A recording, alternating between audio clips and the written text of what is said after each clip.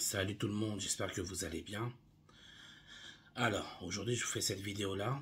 Euh, donc j'aimerais parler un peu de tout ce qui est... Euh, j'aimerais en tout cas vous aider à gérer votre stress. D'accord? Donc du coup je vais, euh, je vais tenter de vous donner un peu tous mes conseils, toute ma vision des choses. vous expliquer un peu comment je fonctionne avec mes élèves pour justement les aider à se libérer du stress, en tout cas pour le jour de l'examen. Alors, avant tout, euh, ce que je vous demanderais de faire, ce serait de, donc, comme d'habitude, hein, mettre un petit, pouce en l'air pour la vidéo, à vous abonner à la chaîne si ce n'est pas déjà fait, d'accord Et à mettre un commentaire, parce que, comme d'hab, plus il y aura de commentaires dans les vidéos, plus la vidéo va remonter dans les euh, recommandations, et donc plus on pourra, euh, plus je pourrai espérer toucher de gens et aider d'autres personnes. D'accord? Donc voilà, c'est le but, c'est qu'on qu'on essaie d'aider un maximum de monde. Donc, il faut qu'on s'entraide tous pour pouvoir aider davantage, toujours plus de monde. Et euh, bien évidemment, partager la chaîne à un maximum, de, un maximum de monde autour de vous. Tous ceux qui sont intéressés pour passer leur permis de conduire, ou même qui ont déjà leur permis de conduire, qui ont besoin de remise à niveau, n'hésitez pas. Alors, euh, la gestion du stress, d'accord? Donc c'est quelque chose d'assez, enfin pas d'assez, de très très très complexe c'est même la, chose la plus dure qu'il y a à faire dans un permis de conduire. Pour moi, un élève qui réussit à gérer son stress, euh, c'est quasiment un élève qui est prêt. En fait, quand, là c'est mon avis à moi, Raphaël, en tant que moniteur, un élève quand il passe son permis de conduire, euh, pour moi il y a deux gros, deux choses à faire pour qu'un élève soit prêt. Premièrement, bah, forcément, il faut qu'il apprenne à conduire. D'accord? Donc, qu'il sache bien conduire, ok, de manière sécuritaire. Euh, voilà, vraiment qu'il ait assimilé toute la conduite. Et la deuxième chose qui permet à un élève d'être, euh, selon moi, complètement prêt pour l'examen, c'est la gestion du stress. Parce que vous pouvez très bien être très très bon dans la conduite, d'accord, ça, il n'y a rien à dire. Très très bon avec euh, votre moniteur, donc en leçon de conduite, mais la gestion du stress, c'est tout autre, d'accord? Et un élève qui est bon mais qui n'est pas, euh, qui n'arrive pas à gérer son stress, malheureusement, ça il y a de très grandes chances que ça ne passe pas pour le jour de l'examen. D'accord? Donc là, on va plutôt se concentrer sur la, gestion du stress. Donc comme je vous disais, je vais essayer de vous donner un peu toutes les façons que j'ai de faire, toutes les méthodes que j'utilise avec mes élèves. Donc déjà, ce qu'il faut savoir, c'est que quand vous passerez votre permis de conduire, vous pourrez jamais éliminer le stress. D'accord? Moi, j'ai jamais, en tout cas moi personnellement, et pourtant j'en ai envoyé des élèves, hein, ça fait 12 ans que je fais ce métier, euh, j'ai jamais pu voir un élève absolument pas stressé. En tout cas, j'en ai pas le souvenir. D'accord? Donc, c'est le stress ne pourra jamais disparaître, mais, mais, j'insiste bien sur le mot mais, c'est tout à fait possible de le dominer. On ne pourra pas, on pourra pas l'enlever, mais on peut le dominer. D'accord? Comment? Alors, moi, je vais vous donner ma technique à moi que j'utilise euh, avec mes élèves. Donc, ce qu'il faut savoir, et c'est quelque chose que vous pourrez vous-même, même si vous n'êtes pas mes élèves, c'est quelque chose que vous pourrez vous-même mettre en pratique afin de vous aider à mieux contrôler votre stress et à, et à augmenter votre confiance en vous. Donc, attendez. Comme je disais, moi, comment je fonctionne avec mes élèves? Déjà, la première chose à faire, c'est que le stress se travaille du début à la fin. D'accord? Mais dès le début de votre formation. C'est pas, c'est pas un, comment dire, c'est pas que c'est pas un point dans la conduite qu'on va voir comme ça. On va dire, tiens, aujourd'hui, on va travailler le stress. c'est faux. Le stress se travaille du début jusqu'à la fin. D'accord? Comment? Donc c'est là que je vais, c'est là que je vais vous donner euh, la technique que j'utilise avec mes élèves. Alors, il y a plusieurs choses. Donc, la première chose que je fais déjà avec mes élèves, c'est que euh, je, fais en sorte donc euh, qu'à partir du moment où un élève, je lui ai appris quelque chose, par exemple, euh, je lui appris à, je lui ai appris à détecter les priorités à droite, d'accord? À partir du moment où j'ai vu à plusieurs reprises, donc quand on travaille ça ensemble, que l'élève arrive à le faire, à partir de ce moment-là, j'explique à mon élève, je lui dis, écoute, à partir de maintenant, tu sais faire, tu me l'as prouvé à plusieurs reprises, j'ai vu, tu as vu que tu maîtrises ça. À partir de maintenant, tout ce qui est priorité à droite, je ne répondrai plus à aucune de tes questions sur tout ce qui concerne la priorité à droite. Parce que souvent, les élèves, voilà, ils arrivent à la priorité à droite. Et avec le manque de confiance et la mauvaise gestion du stress, justement, les élèves me disent, Raphaël, qu'est-ce que je fais? Est-ce que c'est bon? Est-ce que je suis prioritaire ou pas? Et à partir de ce moment-là, je regarde mon élève, je lui dis, je sais pas. Je regarde dans les yeux, je lui dis, je sais pas. L'élève, me dit, ouais, s'il te plaît, Raphaël. Je dis, ben non. Ben non, tu m'as prouvé que tu savais faire. Pourquoi on va faire marche in arrière Vous voyez ce que je veux dire? Dans ce cas-là, ben, je vais te réapprendre à... Ça fait 20 heures qu'on conduit, je vais te réapprendre à tourner le volant. D'accord? Donc, pas de reprise en arrière. Donc ça, c'est avec mes élèves comment je fonctionne. C'est-à-dire qu'à partir du moment où quelque chose est assimilé, je l'ai vu, à plusieurs reprises, que l'élève a compris comment faire, il sait faire, à partir de ce moment-là, sur ce détail-là, je ne l'aide plus. C'est fini, plus d'aide. Et vous, donc comment faire tout seul sans, sans moi? Donc sans forcément sans conduire avec moi. Donc comment vous pouvez faire? C'est très simple. Vous conduisez. À partir du moment où vous allez faire travailler quelque chose qu'on va dire priorité à droite, et qu'à plusieurs reprises vous demandez à votre moniteur, vous dites voilà, est-ce que est-ce que ce que je fais c'est bon? Est-ce que tu es satisfait ou satisfaite? En fonction si c'est un moniteur ou une monitrice. Si, le, si il vous répond oui, c'est bon, euh, j'ai vu que tu, tu, sais faire, à partir de ce moment-là, votre travail à vous, c'est d'arrêter de lui poser les questions sur ce point-là. D'accord? Sur ce point-là. Ok? Donc, tout le reste, bien évidemment, nous sommes vos moniteurs, on est là pour vous aider, pour vous accompagner. D'accord? Mais une fois que vous avez vu que vous a validé, vous-même, vous avez compris que vous savez comment faire, à partir de ce moment-là, vous devez vous forcer à ne plus lui poser la question. Ne plus lui demander à part si vous voulez, par exemple, vous faites la priorité à droite. Une fois que vous l'avez faite, que vous avez fini, là, vous lui demandez, vous dites, est-ce que tu es satisfait de ce que j'ai fait? Oui, je suis satisfait. Ou non, tu as raté. Mais bon, normalement, si vous avez vu vous-même que vous maîtrisez, voilà, votre but, c'est que dès que vous maîtrisez quelque chose, vous continuez à le faire, bien évidemment, en leçon, mais vous ne demandez plus aucune aide sur ce point-là à votre moniteur ou votre monitrice. D'accord? Il faut vous forcer à vous rendre autonome le plus vite possible. D'accord? Donc moi, mes élèves, forcément, je les force en ne leur répondant plus. D'accord? C'est pas facile, hein? Mais c'est faisable. Moi, souvent, je les élèves me disent, Raphaël, s'il te plaît, dis-moi, dis-moi. Je dis non. Non, je, sais que c'est chiant pour toi, mais je ne vais pas t'aider si je te réponds alors que tu sais très bien le faire. Maintenant, tu dois savoir le faire sous le stress en te disant, je suis tout seul ou toute seule, je dois me débrouiller. D'accord? Puisque j'ai vu que je sais faire. OK? Donc c'est le but. Donc vous maîtrisez quelque chose, un point, vous ne le redemandez plus à votre moniteur. OK? Ça, c'est l'une des premières choses que je fais euh, avec mes élèves. Ensuite, ce qui est important de faire aussi, euh, un autre point extrêmement important, donc comment moi je fonctionne avec mes élèves, vous savez que sur la route, on a toujours des gens qui vont nous couper la route, d'accord, qui vont nous empêcher de, passer, euh, des queues de poisson, etc. Et souvent, bah, forcément, les élèves, vous perdez vos moyens et vous dites, Raphaël, qu'est-ce que je dois faire? D'accord? Aide-moi, je suis perdu. D'accord? Alors, pareil, ça, c'est un travail qui se fait sur plus... Voilà, c'est pour ça que je vous dis qu'on travaille dès le début, parce que ça se fait dès le début jusqu'à la fin. D'accord? Et ce qu'il faut, c'est vous forcer à vous dire, bon, avant de demander à Raphaël, enfin, avant de demander à mon moniteur ou ma monitrice, je vais m'habituer à essayer tout seul. D'accord? Moi, ce que je dis toujours à mes élèves, et c'est important, c'est pareil pour vous hein, avec vos moniteurs, vos monitrices, je préfère un élève qui prend une décision qui fait n'importe quoi, mais qui a décidé de prendre sa décision tout seul, plutôt qu'un élève qui fasse bien parce que je l'aide. Vous voyez ce que je veux dire? Pourquoi? Parce que vous devez être autonome le plus vite possible. J'insiste bien, bien évidemment, au début, c'est mon travail de vous aider, c'est normal. Je vous accompagne, je vous explique les choses, euh, voilà, je vous explique tout, je vous montre comment réagir, c'est mon travail, ça c'est normal, il n'y a pas de problème.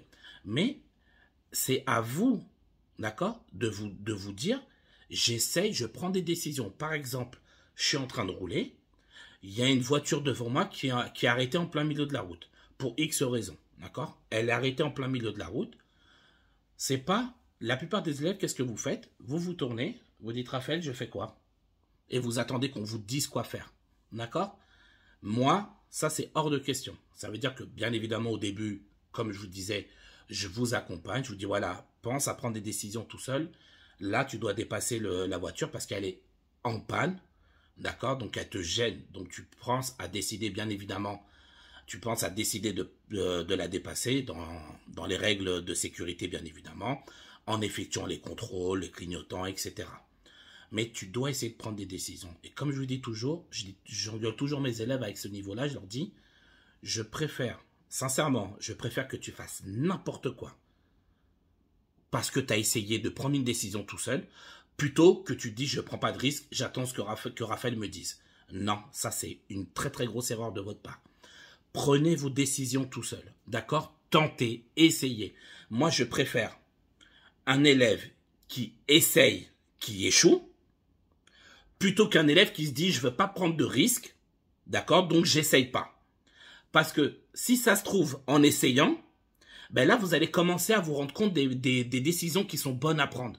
Vous savez, quand un élève, il essaye une fois, il voit que ça échoue, il va comprendre pourquoi il a, ça a échoué, il va réessayer une deuxième fois, il va comprendre pourquoi ça a échoué, et là, la troisième fois sera la bonne.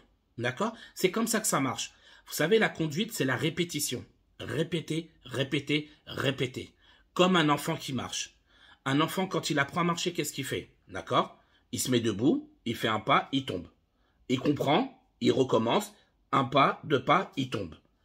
Il, comprend, il recommence, un pas, deux pas, trois points, trois pas, et là c'est fini, on l'arrête plus. C'est la même chose pour la conduite. Pensez toujours à ça, dites-vous, vous êtes comme des bébés qui apprenaient à, marcher. Bien évidemment, c'est une métaphore, hein, je pense que vous aurez compris, mais c'est important de comprendre le principe. J'essaye, j'échoue je recommence. J'essaye, j'échoue, je recommence, jusqu'au moment où je n'échouerai plus, et là c'est fini. D'accord? C'est pour ça que tous mes élèves, c'est pareil.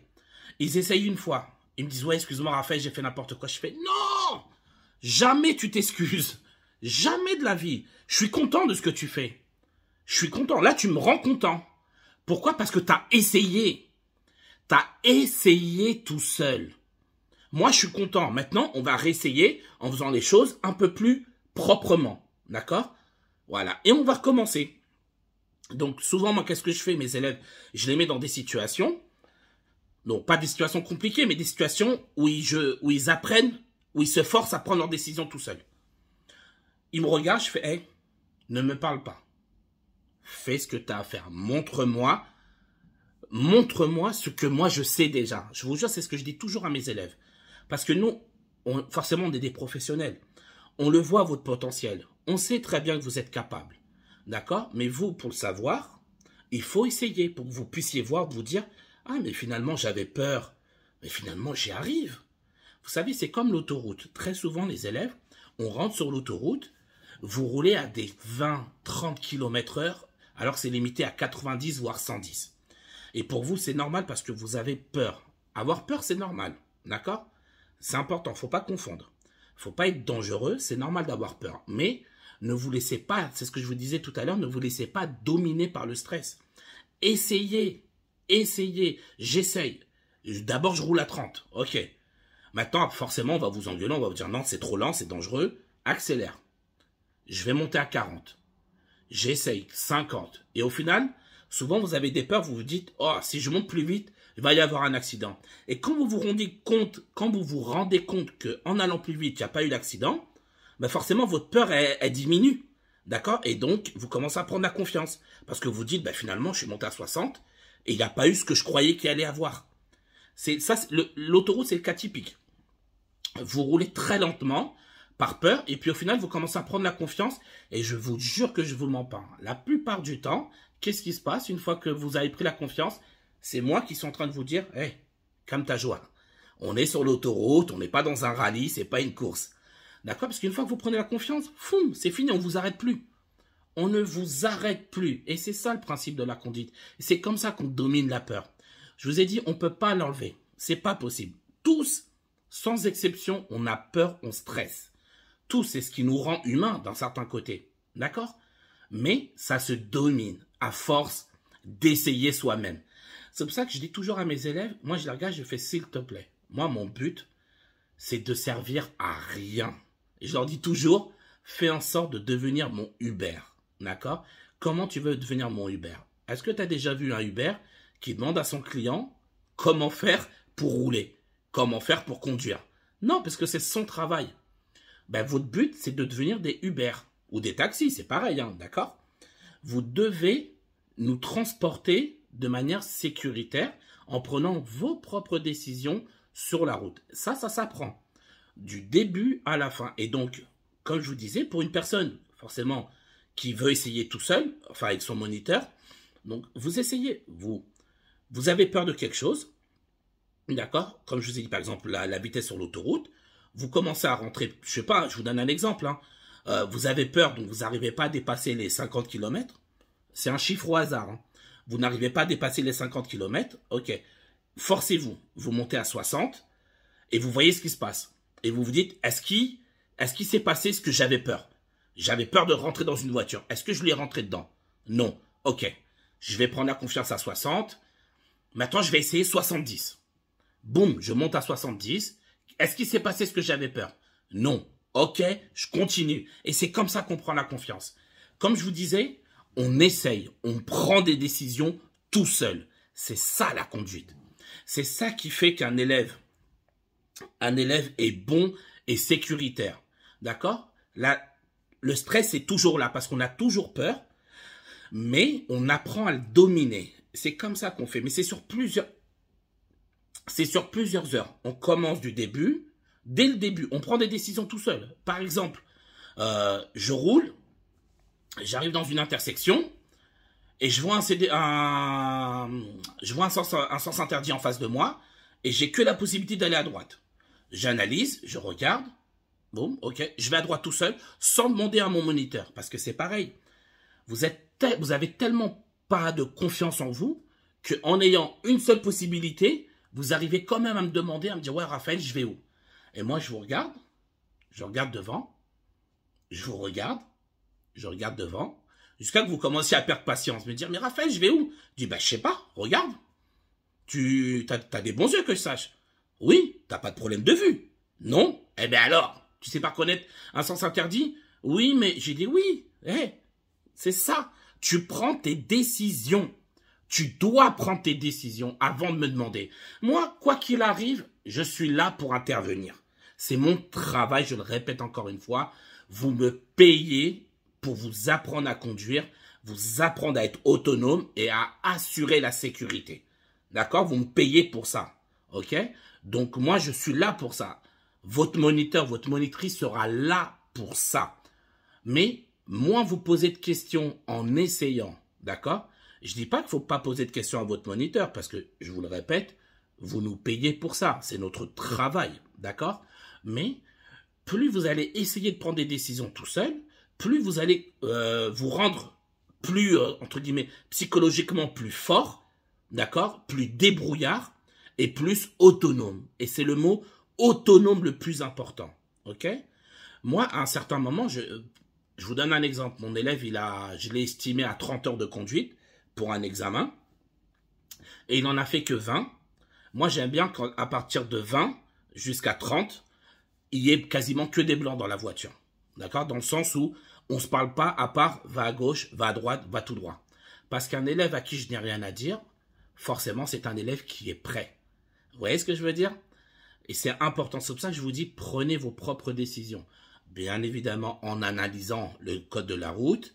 Si, par exemple, on vous dit, ouais, ne fais pas ça, ne le faites pas. Ça, ça c'est différent. On ne vous dit pas de, euh, de, nous contredire. Ce qu'on vous dit, c'est que euh, tant qu'on vous dit rien, il y a des situations, essayez par vous-même. Et s'il y a un problème, si c'est mal fait, hop, j'attrape le volant, je freine avec les pédales, j'interviens. Il n'y a pas de problème. D'accord? Je, suis formé pour ça. OK? Donc ça, c'est pas un problème. Mais c'est important de prendre vos propres décisions. C'est extrêmement important. D'accord? Essayez. OK? On n'a pas réussi une fois, on réessayera une deuxième fois. On n'a pas réussi, on réessayera une troisième fois. Moi, souvent, les élèves que j'envoie au permis de conduire, euh, comme je vous dis à peu près entre les 5 et les 10 dernières heures qui restent à faire avant l'examen, vous, vous montez dans la voiture, vous avez l'impression qu'on se fait la gueule, l'élève et moi. Parce qu'il n'y a que des blancs quasiment. Parce que j'ai rien à lui dire, à part, va à gauche, va à droite, fais-moi un créneau ici, euh, suis l'autoroute Paris, etc. À part ça, il n'y a que des blancs dans la voiture. Et souvent, les élèves, ils me disent, ouais, c'est un peu... Euh, tu sais, ça me fait un peu bizarre. Je dis, ouais, c'est normal. J'ai rien à dire, t'es bon. Qu'est-ce que je te rajoute? Qu'est-ce que tu veux que je te rajoute? T'es bon. Donc, je vais pas m'amuser à te critiquer pour rien. Des fois, je regarde les élèves, je leur dis, à part si tu veux que je te dise que t'es complètement nul, tu n'auras jamais ton permis de conduire, tu n'es pas fait pour ça, et que je te mente, donc, je peux le faire. Et me regarde en rigolant, non, non, non, c'est bon, euh, je préfère que tu dises rien. Voilà, t'es bon. Roule, prends la confiance. Et c'est comme ça que souvent les élèves, à la fin de la, séance de conduite, ils me disent, ils me disent écoute Raphaël, euh, je me suis grave amélioré, je me sens beaucoup mieux, je t'ai pas entendu beaucoup parler aujourd'hui. Ben ouais, c'est vrai. Souvent, le bilan à la fin de la séance, c'est l'élève qui le fait à ma place. Ouais, j'ai bien fait ça, ça je l'ai bien fait, ça je l'ai bien fait, ça j'ai raté, mais il faut encore que je m'améliore. C'est parfait. Il me disait, toi, t'en penses quoi? Je dis, bah, qu'est-ce que je te dis? T'as tout dit. C'est parfait. Garde, reste comme ça, ton permis, tu l'auras haut la main avec un comportement sécuritaire et autonome comme tu fais, c'est parfait. D'accord? C'est important. Soyez autonome. D'accord? Ça se travaille. C'est pas un bouton qu'on appuie, tac, et boum, je deviens autonome. Non, ça se travaille depuis le début. Donc, dans tout ce qu'on vous demande de faire quand vous apprenez à conduire, peu importe l'étape où vous en êtes. D'accord? Une fois que votre moniteur vous a appris quelque chose, apprenez à vous débrouiller tout seul. Essayez. Je dis bien essayez. J'essaye. Je me débrouille j'apprends, je recommence, j'insiste. Vous voyez ce que je veux dire? Voilà, c'est ça l'autonomie. J'essaye tout seul. Et au bout d'un moment, vous allez tellement le faire naturellement que vous penserez même plus à poser de questions et vous réagirez tout seul sur la route. D'accord? Après, quand vous avez des doutes, n'hésitez pas, une fois que vous avez fait ça, vous dites, voilà, Raphaël, est-ce que tu penses que c'est bon ce que j'ai fait ou pas? D'accord? Euh, Ouais, c'est bon, c'est nickel, t'as géré, continue comme ça, c'est parfait, je suis fier de toi. Et hop, et on continue, on continue, on continue. D'accord? Donc ça, c'est une des premières choses extrêmement importantes. Ensuite,